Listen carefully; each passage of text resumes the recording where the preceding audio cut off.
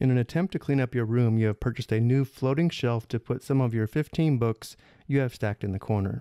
These books are all by different authors.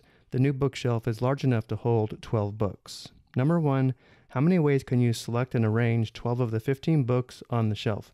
The books are allowed to be in any order. So, because the books are allowed to be in any order, the order matters, and therefore we will use a permutation to answer this question. For a permutation, no item is used more than once, and the order of the arrangement does matter.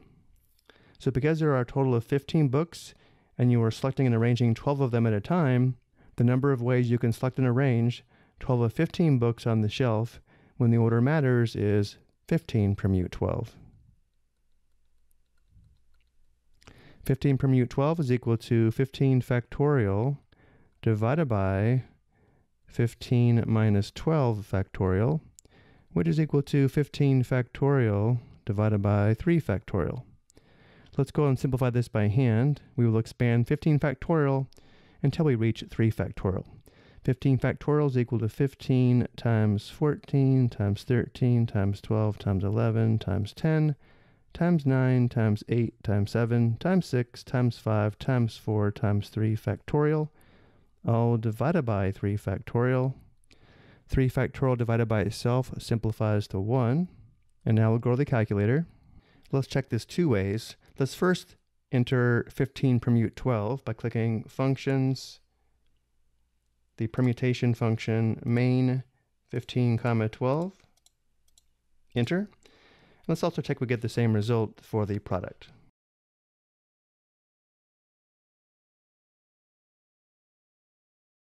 And notice we do get the same result, but also notice how the result is in scientific notation. Because we're multiplying by 10 to the power of 11 to convert to decimal notation, we need to move the decimal point 11 places to the right. Notice after moving the decimal 8 places to the right, we're on the right side of the 8. We need to move 3 more places to the right, and therefore we need to add three zeros. The number in decimal notation is 217-945-728-000. Which means there are 217,945,728,000 ways to select and arrange 12 of the 15 books on the shelf when the order matters. Number two, how many ways can you select and arrange 12 of the 15 books on the shelf if you insist they be arranged alphabetically by author? To answer this question, we'll actually use a combination where for a combination, no item is used more than once and the order of the items does not matter. Now you might be thinking, well, the order does matter. The books have to be in alphabetical order, which is true. But if we form groups of 12 books where the order doesn't matter, for each of those groups, we can arrange the books in alphabetical order which gives one successful arrangement of the 12 books. So again, every group of 12 will only result in one successful outcome, meaning one arrangement in which the books can be put in alphabetical order, which indicates the number of ways you can select and arrange 12 of the 15 books on the shelf, if they must be in alphabetical order, is 15, choose 12. And 15 choose 12 is equal to 15 factorial divided by the product of 15 minus 12 factorial and 12 factorial. So now we'll expand 15 factorial until we reach 12 factorial. 15 factorial is equal to 15 times 14 times 13 times 12 factorial, all divided by 15 minus 12 is 3, so we have 3 factorial, which is 3 times 2 times 1 times 12 factorial in the denominator. And now simplifying, 12 factorial divided by itself simplifies the 1.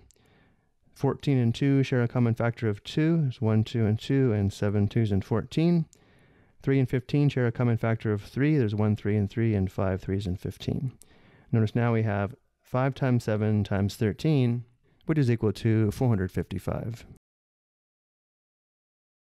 There are 455 ways to select and arrange 12 of the 15 books on the shelf if the books must be arranged alphabetically by author. And let's go ahead and verify this on the calculator. So let's first enter 5 times 7 times 13. And let's make sure we get the same result for 15, choose 12.